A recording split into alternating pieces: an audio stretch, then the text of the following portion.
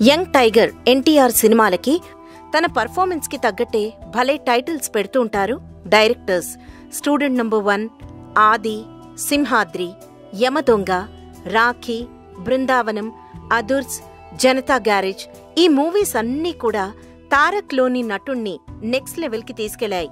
Janata garage తర్వాత కాస్త gap తీసుకొని అన్న కళ్యాణ్ రామ్ బ్యానర్లో బాబీ డైరెక్షన్లో ఓ మూవీ చేయబోతున్నాడు. తారక్ ఈ మూవీలో మూడు డిఫరెంట్ క్యారెక్టర్స్ చేయబోతున్నాడని కాజల్ అగర్వాల్ నివేదా థామస్ అను ఇమాన్యుయల్ వంటి ముత్తుకుమ్మల్ని హీరోయిన్స్గా సెలెక్ట్ చేశారని కూడా తెలుస్తుంది.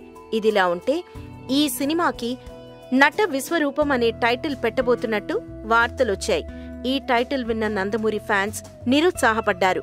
ఈ మాట ఆ నోటా ఈ నోటా పాకి ప్రొడ్యూసర్ కళ్యాణ్ రామ్ చెవిన పడింది అసలు మేము ఈ సినిమాకి ఏ టైటిల్ కన్ఫర్మ్ చేయలేదు. ఇది రూమర్ అని చెప్పాడు. ఆ మాటకొస్తే ఇప్పటిదాకా టైటిల్ గురించి కానీ మిగతా ఆర్టిస్టులు అండ్ టెక్నీషియన్ల గురించి కానీ డిస్కషన్స్ నడుస్తున్నాయే తప్ప ఎవరినీ ఫైనల్ చేయలేదు ఏదీ ఫిక్స్ కాలేదు. మీడియాలో వస్తున్న వార్తల్లో వాస్తవం లేదు అని తేల్చి చెప్పాడు కళ్యాణ్ రామ్. మేమెలాగైతే ఈ ప్రాజెక్ట్ని అనౌన్స్ చేశామో అలాగే మిగతా ఏ విషయాన్నైనా అఫీషియల్గానే చెప్తాం. అప్పటి వరకు పుట్టుకొచ్చే పుకార్లని నమ్మకండి అని రిక్వెస్టింగ్గా చెప్పాడు. హ్యాట్రిక్ హిట్స్తో ఫన్ జోష్లో ఉన్న మా తారక్తో సర్దార్ గబ్బర్ సింగ్ దెబ్బకి డీలా పడ్డ బాబీ పుంజుకోవడం మా హీరోకి హిట్ పడడం ఖాయం అంటున్నారు యంగ్ టైగర్ ఫ్యాన్స్. మరిన్ని ఫ్రెష్ ఫిల్మ్ అప్డేట్స్ కోసం మా టీఎఫ్సీ మీడియా ఛానల్ని సబ్స్క్రైబ్ చేసుకోండి.